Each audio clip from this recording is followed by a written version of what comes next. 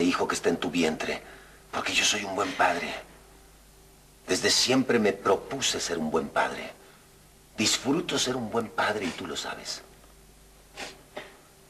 Te voy a cumplir. Pero no puedo casarme contigo.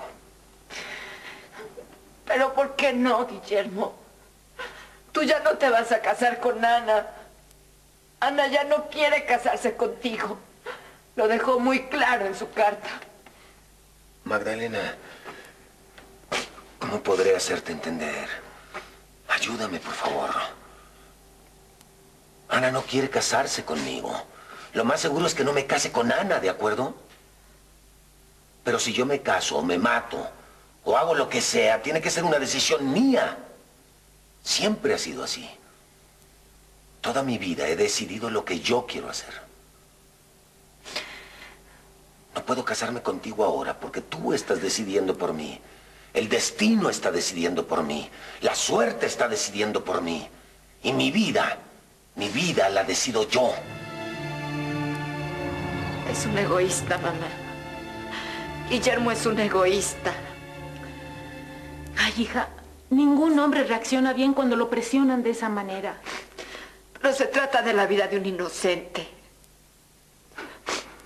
Ay, hijita, yo creo que tú no estás bien de salud. Debo recordarte que ese inocente no existe. Tú no estás embarazada, Magdalena. Pero Guillermo está en la creencia de que así es. ¿Qué tal que si existiera? Pero ya son muchas mentiras, Magdalena. Retírate de todo, hija. Retírate de todo ahora que aún es tiempo. Aléjate de toda esa gente por tu bien y por el de todos, por favor, hija. No, no puedo, mamá. Yo sé que Guillermo no va a cambiar de decisión por ahora, pero lo hará después. Sé que cuento con el apoyo de Ana. Solamente tengo que esperar a que Guillermo se calme. Pero eso significa tiempo, Magdalena. Y cuando pase el tiempo, todo mundo se va a dar cuenta de que no estás embarazada, hija, por Dios. Mamá, ayúdame. Por favor, ayúdame.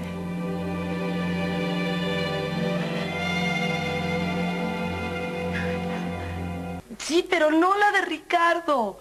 No la de Ricardo. Ver a Ricardo me haría daño, ¿me entiendes? Me haría mucho daño. Él, él vería en mis ojos que yo todavía quiero a Mario. Él se daría cuenta de lo que yo estoy sintiendo en este momento. Y, y yo ya no quiero hacerle daño a Ricardo, ya no quiero cargar con más culpas, ya no quiero ni una culpa más.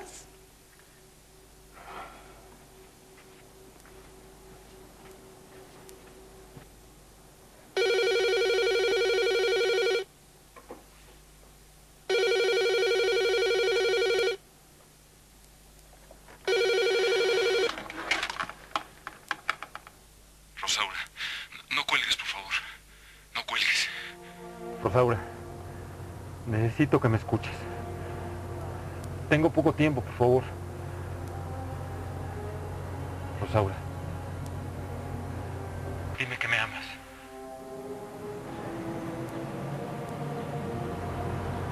¿Está bien? Por tu silencio debo entender que no me amas.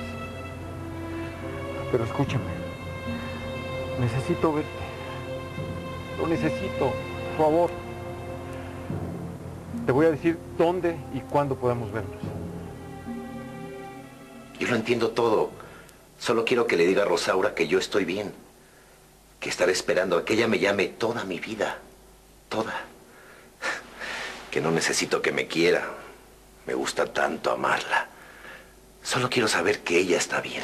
Ricardo, eh, ¿me permitirían tú y Rosaura que me meta en lo que no me importa? Tú sabes que es algo que me choca. Odio a la gente que se mete en las vidas ajenas. Pero esta vez haría una excepción. Por mí, perdonada. Yo te voy a buscar en su debido momento. Gracias, Verónica. Le encargo mucho a mi Rosaura.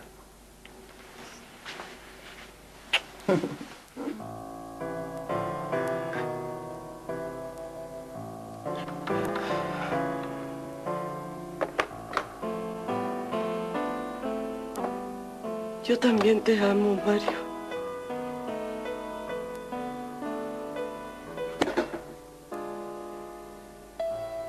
¿Qué? ¿Qué, mi vida? ¿Qué te sucede, linda? ¿Eh? El teléfono está intervenido, pero... Era Mario. Mario me habló y... Y yo lo dejé que hablara mucho tiempo. El teléfono está intervenido. Y ahora... Ahora tengo una culpa más con que cargar. Ya, ya, mi reina, ya. ya. Siempre se ha burlado de mí. Esta vez el vencedor voy a ser yo. Tengo que encontrar la forma y el momento de, volarle toda la lana. Tiene mucha lana, Domingo. Son billetes de los verdes. Mira, si, si me ayudas, nos vamos a hinchar, mano. Anímate. Ayúdame a volarle la lana. Pero tranquilo, tranquilo, no te preocupes. Rodolfo ya tiene un pie en la cárcel. Así que todo va a ser muy sencillo. Luego nos pelamos. ¿eh? Óyeme, oye, óyeme, maldito mudo. ¿Eres tarado o qué? ¿Eh? ¿Eh? No oyes que hay mucha lana de por medio. ¿Eh? Matías. ¿Qué sucede? No, pues, nada, nada. Pues aquí solo retosando un rato, ¿verdad, Domingo? Preguntaba que qué sucedía contigo porque te volviste a desaparecer. Se supone que trabajas aquí, ¿no? El comandante del policía vino a buscarte y quiere que vayas a verlo a la delegación. Sí, sí. Mañana voy a buscarlo.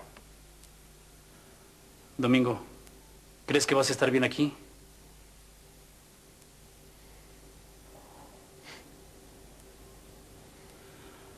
Bueno, mañana nos vemos.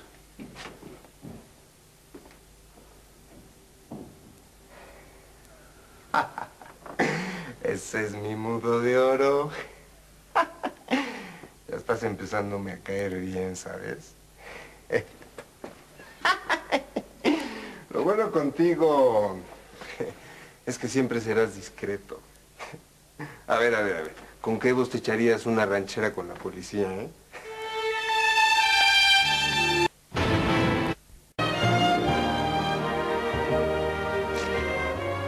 Me rechazó por estar embarazada. No, yo no dije exactamente eso.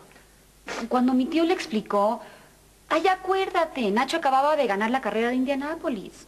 Había muchos sueños e ilusiones alrededor de ese triunfo tan deseado. Ser padre no encajaba con todo eso. Por lo visto a ningún hombre le interesa ser padre. ¿Para qué hacen el amor entonces, Andrea? Todos, todos son una bola de irresponsables. Magdalena, te recuerdo que tú no estás realmente embarazada. No, pero ya viví una situación como esta, Andrea.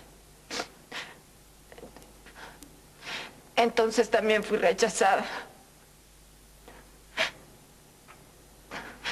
Yo estaba sola. No sabía qué hacer, ¿te acuerdas?